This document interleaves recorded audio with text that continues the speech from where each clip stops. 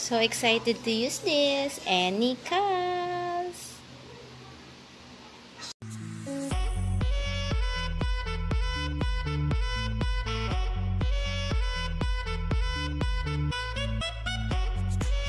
Hi guys! Welcome back to my channel. So for today's vlog, samahan niyo ako. Mag-unbox tayo ng aking in-order dito sa Lazada. Bali, nag-order kasi ako guys ng Anycast para sa aming TV kasi hindi siya smart TV. So, gusto namin kasi makapanood ng Netflix na nasa TV dahil nga nahirapan kami sa, sa cellphone. Hindi lang naman Netflix, mga ibang ano rin naman, mga ibang palabas din sa YouTube and whatever. So, samahan niyo ako guys, i-unbox natin to. Okay, ang Anycast. Ito guys, i-unbox natin ang Anycast.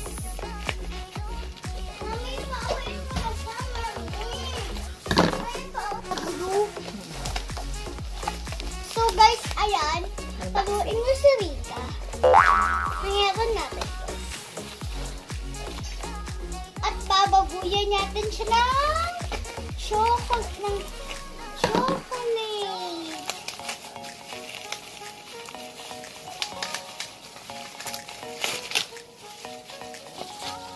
This one, ito na yung Anycast. Yan.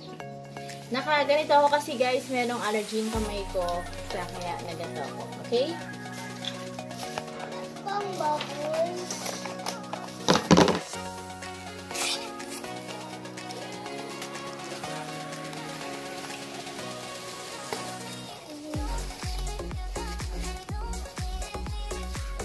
Ito yung manual.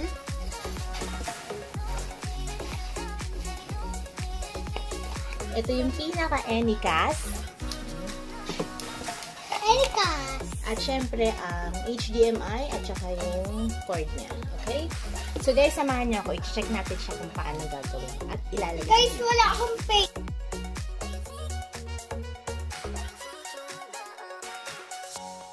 So guys, ito yung Anycast. Yan, idinikit na, ah, it, uh, ikinonect ko na siya HDMI dito sa TV namin. At ito yung ah, USB.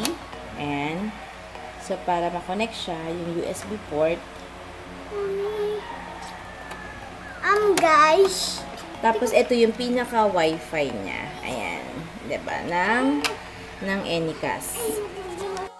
So guys, kapag gagamitin natin yung Anycast para sa i-connect sa TV at sa mobile, um, kailangan natin mag-download ng screen mirror mirroring. Ayan siya. Ayan. Para mag-connect siya. Yun yung parang mag yung app application. Pwede siyang i-download sa Play Store. Ayan.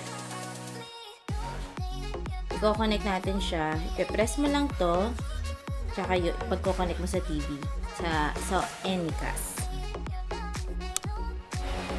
Sa TV natin, namin, hanapin nyo yung HDMI 1. So, ayan, source muna. And then, ayan. Ayan na siya. So, ayan. Uh, Magko-connect siya. Ayan na lang natin saglit. Ayan ang lalabas sa screen nyo. Ayan.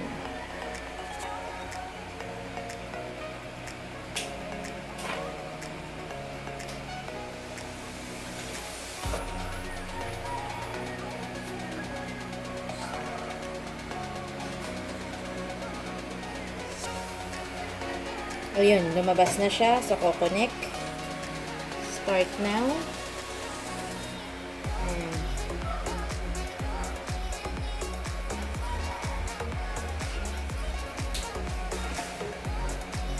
Connecting na siya. Hintay lang tayo saglit, guys. Ayun! Lumabas na ang aking wallpaper. Ibig sabihin, nakakonect na ang cellphone ko, ang TV sa cellphone ko. Ayan siya, guys. Diba? So, ayan. Pwede na ako manood. Usually kasi nanonood ako ng Netflix, ng iWant, ng YouTube dito. So, ayan guys. Madali lang siya, promise. Basta sundin nyo lang din yung instruction.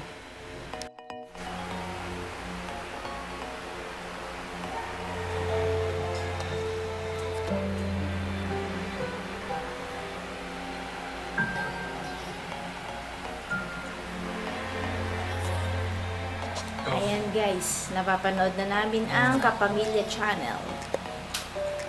Okay sa pamamagitan ng Anycast. So, ayan nga guys. Ah, sobrang laking tulong nitong Anycast sa amin, lalo na sa family ko. Kasi sobrang favorite na talaga yung mga palabas sa Channel 2.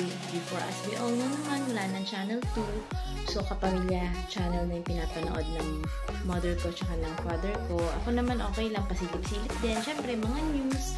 Kaya ito, binili namin tong Anycast. So, mura lang siya. Nabili lang namin siya sa Lazada ng nasa 500 kasama na ang shipping fee. And thank you kasi hindi siya, wala siyang sira at saka as in good condition siya na natanggap namin. Siyempre kahit papano minsan nakakatakot din mamili sa online dahil ang hirap-hirap ibalik kapag hindi siya maganda or nagma-malfunction. But thank you kasi ito is is maganda yung yung napagbilan namin. At saka talaga namang nagre-respond siya. Kasi before ako nag-order is may tinanong ako sa seller, sa, sa, sa, sa, sa nagbebenta nito. Okay guys?